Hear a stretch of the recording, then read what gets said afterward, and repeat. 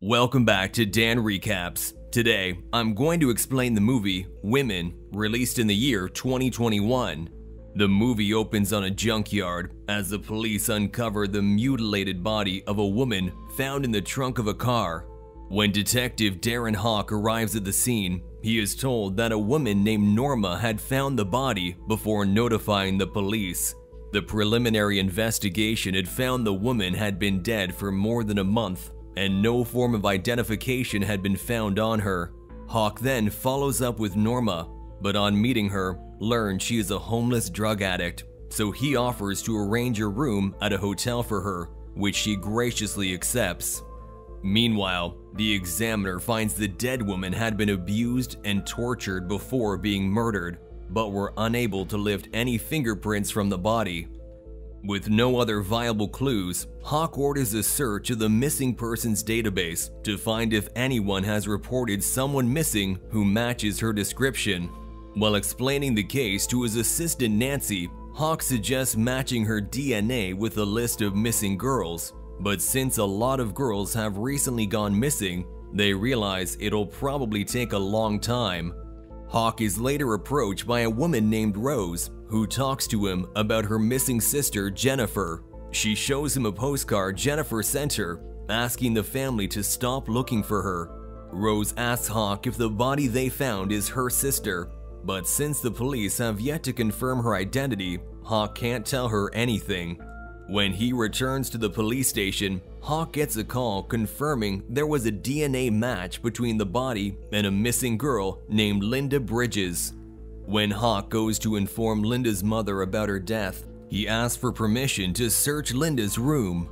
While looking through her belongings, he finds a postcard that looks identical to the one Rose had shown him earlier. Hawk now suspects both girls may have been kidnapped by the same person, indicating a potential serial killer. As Linda had been abused and tortured before her death, Hawk suggests talking to the locals to see if anyone has seen a suspicious person in the area. Meanwhile, we meet a sociology teacher named Bradley Gilmore as he tells Jennifer, Rose's missing sister, that he is planning to bring a new girl into the house.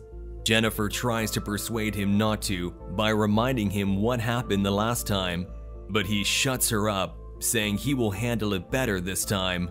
The next day, Bradley visits a local store where Haley, one of his students, works as a salesperson and asks her to show him some clothing options for his wife. While Haley helps him find some options, she mentions that she missed her ride and he offers to drop her off at home. Haley reluctantly agrees to let him take her home and gets in the car with him, but instead, he knocks her unconscious and kidnaps her. Meanwhile, Detective Hawk attends a group therapy session where he shares his traumatic past. He tells the group that both his mother and his sister were drug addicts, so he vowed never to drink or smoke so he wouldn't turn out like them. One day, he found his sister had died in a hotel room, but hid it from his mother. To this day, she still searches for her daughter, while he assures her he is doing everything he can to find her as well. Back at Bradley's house, while having dinner with Jennifer, he hears some noises coming from where he is keeping Haley upstairs and goes to check on her. When Jennifer hears her screams, she gets upset, knowing that he must be abusing her. Then, Bradley just calmly returns to the table as if nothing had happened. Meanwhile, Hawk keeps searching for the missing girls in the area but is still not able to find any viable clues to lead him to the serial killer. As Bradley's attention diverts to Haley, Jennifer becomes upset, especially after he scolds her for wearing the new dress that he had bought for the new girl. Jennifer reluctantly returns the dress to Haley and brings her downstairs to join them for lunch. Returning to her room after lunch, Haley finds Jennifer there, who warns her not to try escaping as Bradley is watching them at all times.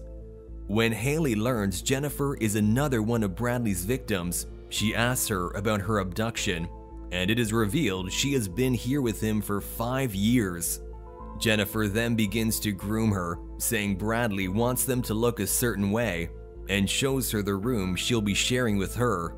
She also tells her they are required to follow a certain dress code and must always obey Bradley's orders. The next morning, when Haley begins screaming for help, Jennifer comes and slaps her in the face, calling her ungrateful.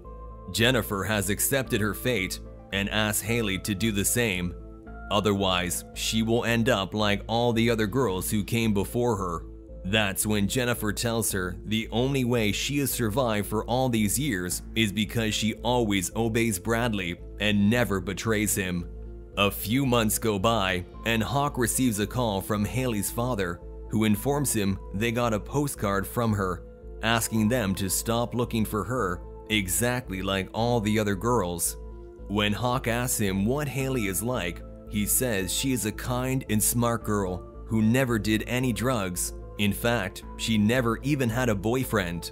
However, when he later questions Haley's friend, he hears a very different side of her, saying Haley was a rebellious girl who had tried drugs and dated lots of boys, but never let her family know about any of it. As the investigation progresses, Hawk visits Haley's university, where he learns that Haley, Linda, and Jennifer were not only all students there, but they also took the same class. Discussing it with Nancy, he decides to meet Bradley, the professor of the class that all three missing girls attended. In his meeting with Bradley, Hawk notices his wedding ring and asks if he had noticed anything unusual before Haley's disappearance. Bradley tries to play it cool and act ignorant, but Hawk is suspicious of him and asks if he thinks it's a coincidence that all three missing girls were from his class. When Bradley gets home that night, he questions Jennifer about Haley's attitude, but she assures him that Haley has accepted her fate. One night, while alone in their room, Haley notices an air duct and considers escaping the house through it. Jennifer warns her about the consequences of attempting to get free, but Haley thinks they should not give up without trying. Still suspicious of the strange professor, Hawk begins to investigate Bradley. In his search, he learns that a girl named Hillary Jones had filed a rape case against him, but it was dismissed due to a lack of evidence. To learn more, Hawk meets her brother Aaron, who tells him Hillary was dating Bradley when he raped her multiple times. Then one day, she left him and went abroad. At first, she sent him postcards, but eventually they stopped and he hasn't heard from his sister since. After this visit to Aaron, Hawk continues digging into Bradley's past, and when he finds no record of a marriage, he becomes convinced he lied about that too. Hawk wants to question him further, but Nancy objects, since Bradley is seen as a respectable man in the town, pushing too hard might offend the locals. But Hawk tracks Bradley down and finds him working on his boat, which he claims to be named after his wife. Hawk mentions Hillary and what he learned from Aaron, but Bradley denies having a relationship with her, saying they only flirted, but does admit he knew about her passion for traveling. Hawk is still suspicious of him, but as he still has no hard evidence against him, he leaves without saying another word. A few days later, Bradley asks Haley to play the piano for him, but every time she makes a mistake, he slaps her. Jennifer sees this and tries to help Haley to protect her from the abuse. Back in their room, Jennifer finds Haley crying on the bed and tries to comfort her, but Haley lashes out, destroying the security camera and saying that she needs to escape. Jennifer tries to stop her, warning her that she will be severely punished, but Haley argues with her and doesn't understand why she doesn't try to leave him. She starts to try and escape through the vent, but changes her mind and comes back to join Jennifer and Bradley downstairs. Bradley often reads to the girls and tries to start discussions with them, and until now, Haley had never participated. But eventually, as Haley becomes more numb to her situation, she begins to talk with Bradley, but this connection makes Jennifer jealous. In their next session, Bradley questions the girls about the broken camera. Haley lies and says Jennifer did it while trying to escape. Jennifer tries to tell Bradley the truth, but he loses his temper and drags her away to his torture room. That night, he rapes Haley before sending her back to their room, where a badly injured Jennifer joins her later. Meanwhile, Hawk's mother urges him to find his missing sister. She tries to go out and look for her daughter herself, but Hawk goes to pick her up and brings her home. Meanwhile, Jennifer is angry about what Haley did to her. She decides to take her revenge and talks to her about making a plan to escape together. Detective Hawk makes a surprise visit to Bradley's house where he questions him about his family. When Bradley lies again, saying he lives with his wife, Hawk asks if he can come inside and take a look around. In the house, Hawk admires Bradley's art collection, which he claims to have collected while traveling with his wife. As the two talk downstairs, Jennifer tells Haley this is their best chance of escaping and tells her to climb inside the duct. But once inside, Jennifer closes the duct and locks it behind her, trapping Haley. With no other choice, Haley starts climbing through the duct in an attempt to free herself from this prison.